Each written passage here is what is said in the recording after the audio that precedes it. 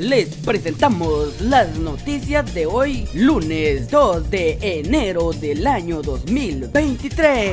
Por supuestamente estar involucrados en crimen de niña en Ciudad Peronia, detienen a dos hermanos albañiles. Tripulantes, unidad policial, detuvieron a las 23 horas en la 4 Avenida E, Ciudad de Peronia, zona 8 de Villanueva, a tres albañiles de 28 30 y 33 años, luego de que una multitud de aproximadamente 50 personas pretendían lincharlos por su presunta participación en el crimen de la menor de nombre una niña de 7 años cuyo cuerpo fue descubierto ayer semi enterrada en una casa abandonada del sector. Dos capturados con arma ilegal en la aldea La Sabana Grande, Chiquimula. Policía de la comisaría 23 capturaron a un hombre de 35 años a quien se le incautó una pistola marca Taurus calibre 9 milímetros, la cual portaba de manera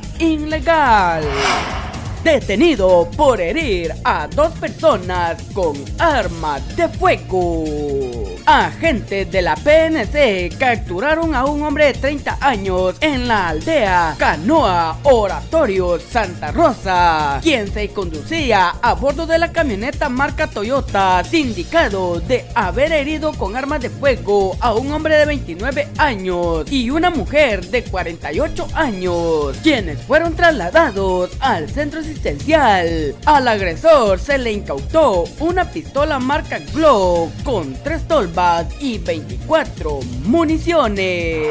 En otra acción, en la zona 4 de Chimaltenango fue remitido un menor de 16 años por conducir la motocicleta M597 JMY de color rojo con blanco, con reporte de haber sido robada en la zona 3 de Villanueva el 28 de octubre del año 2022.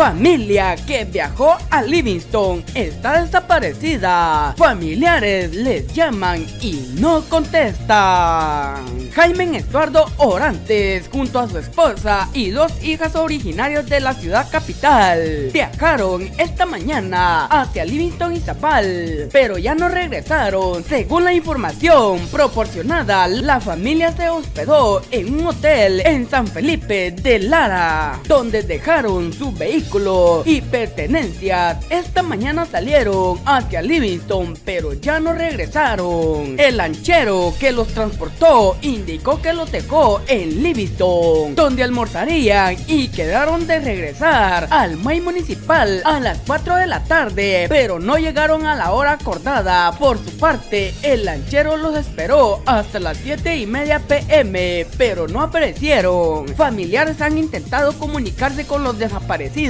pero no han logrado comunicación. La denuncia ya fue interpuesta a la comisaría de Livingston. Si alguien tiene alguna información, puede comunicarse a los teléfonos 4991 9009 Edwin Torres o pueden llamar al hotel para avisar a su familia 4614 4497 inician el funeral de Pelé. Los brasileños empiezan este lunes a despedirse de su mayor ídolo futbolístico. Pelé falleció el jueves a los 82 años en un velorio público de 24 horas en el Estadio del Santo, el equipo donde forjó buenas partes de su leyenda. Para más información, visita nuestra página isabalencetv.com. Informó Orlando Ramírez para Isabalense TV y Radio Feilo.